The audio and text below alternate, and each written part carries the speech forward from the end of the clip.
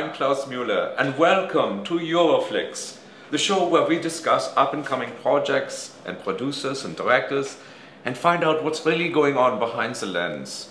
My guest today is very special. We've been trying to get her for months here at Euroflix, and she is an amazing director, producer, dancer, actress, model, and an amazing writer who has come up with the most fantastic movie. You have to see it. Please welcome Adina Abramowitz. Abrahami. Gesundheit.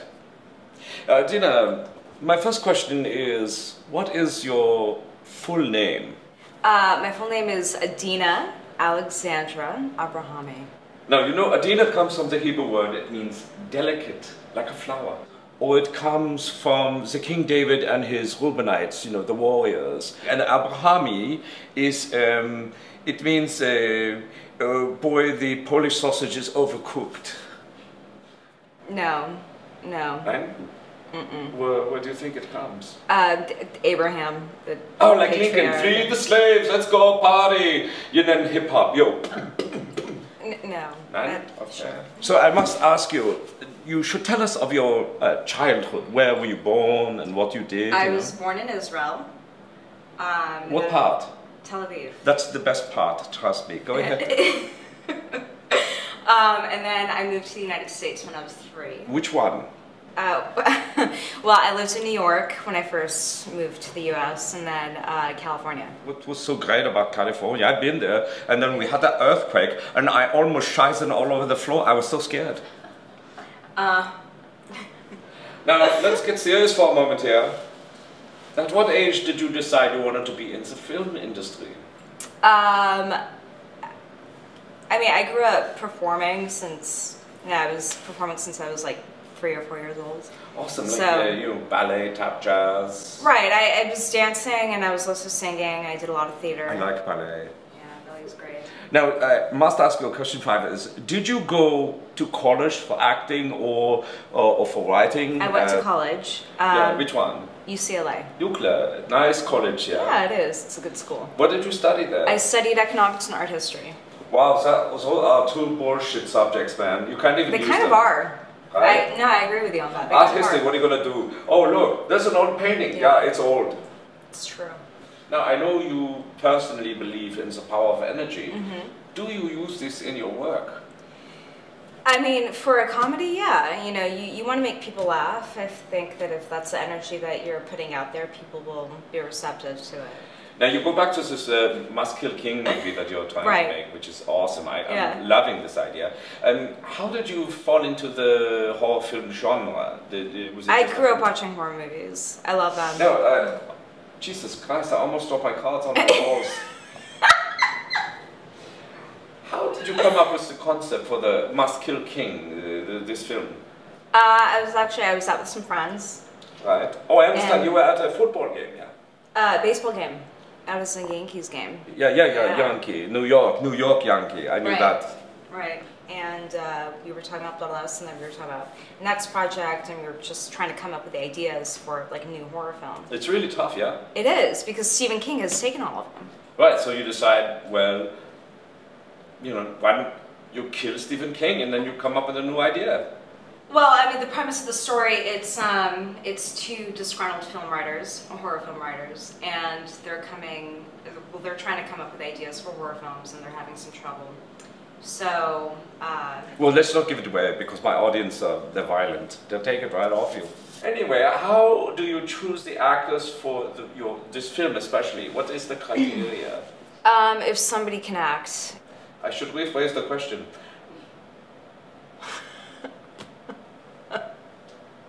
Let me skip that one, that was terrible. this is very important to me. Who in the world do you admire the most? do I admire the most? Yeah, yeah. Wow. Um, I mean, there are a lot of people. Um, Bruce Campbell. Ah, yes, Bruce Campbell. And now, then, opposite, who do you admire the least? There are a lot of people. Um, Kim Kardashian would Yeah, be yeah, a good bitch, example. right? Yeah. Now, what kind of food would you be if you were food? If I was a food, what kind of food do you think I'd be? I think uh, when I look at you and I take in your order and all this, I'm thinking uh, like a steak, medium rare, with a great amount of peppercorns on it to give you that bite. That is you. I'm a steak. It's the steak, maybe with a bit of asparagus on the side, Right. because asparagus smells when you pee. What makes a good film, especially a good horror film? What makes a good horror film? Yeah. Well, it needs to be scary. That's, you know, Boo! Like that, yeah. sure. Yeah. Okay. Um, it needs to be scary. It needs to be believable. You know. Yeah, believing is, especially in comedy, uh, like I believe a lot of things, and and when I produce and write a film, it's always believable. Yeah, go ahead. Um, I think those are probably the two biggest components. You have quite big components, I've noticed. Now, if you could clone one person in the world, who would it be? Mm, Dead or alive? Yeah, I don't think I'd want to clone anybody. What about the Jesus one? Uh, like he was, Oh, actually, yeah. No, that's a good Jesus was the OJ, the original Jew. you know? Right, Yeah. totally. Yeah, I might actually want to clone Jesus. I think that would just be awesome. Wouldn't it be cool? If you could hang and, and say things You can like. hang out. You know, he was like not only was he Jew, but he was also kind of like a hippie, right? He was hippie, So- yeah, yeah, and, and Yeah. also you could hang with him and go things like, "Hey, Jesus, could you make me like a table?" Because he was a carpenter. Right, totally. Yeah. I wouldn't. Yeah, I wouldn't have to pay for any of my furniture. Wouldn't that be cool? That'd be I- I would like to meet him one day. I would like to clone Jesus. Yeah, Yeah. Or, or if it happens, I would probably meet him once this interview is over and I die on the way home in a bus accident. Oh, that's sad. Don't say that. No. But you could write about it and make a movie. Jesus needs Horror. That's true. That's true. Scary bus accident movies. German dies in bus accident. Hello. Especially if it's a German guy. Okay, it's time for my favorite part of the interview. Are you ready, Adina? I'm sorry. My pronunciation sucks like shizzin. What is your favorite word? Um, facetious. Least favorite word? No. Favorite body part? Favorite body part on me or on other people? I don't care, it doesn't matter, I haven't seen it. Uh, collarbone, Least favorite body part? feet. Yeah, yeah, I think so. And they smell, Right. and you got like the fungus of the toe, yeah, the like jam. sweaty and it's just it's nasty. Yeah, but that's you know that's on a good day. Right.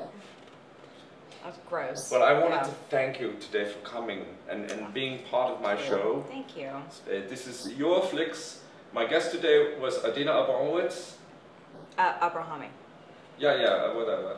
And uh, we wanted to thank you for tuning in. Please, next week my guest will be Casey Anderkush and his new movie, Holy Shit, I Fucked a Snake.